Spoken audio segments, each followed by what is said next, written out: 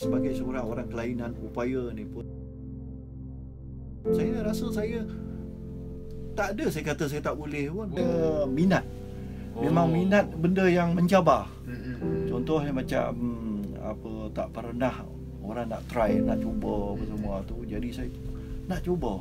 Sebab saya dulu pun tahun 19 uh, 90 90 macam tu. Jadi saya nampak orang bersukan Bersukan ni jadi saya nak try macam mana dia orang bersukan Oh.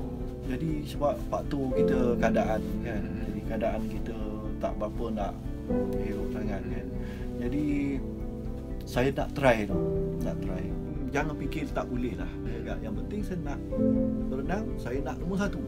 Oh, kalau boleh saya kan? nak nombor Ha. satu. Ya, saya nak lebih daripada orang. Kalau kita rasa kita saya nak buat benda tu. Saya nak buat tu sampai berjaya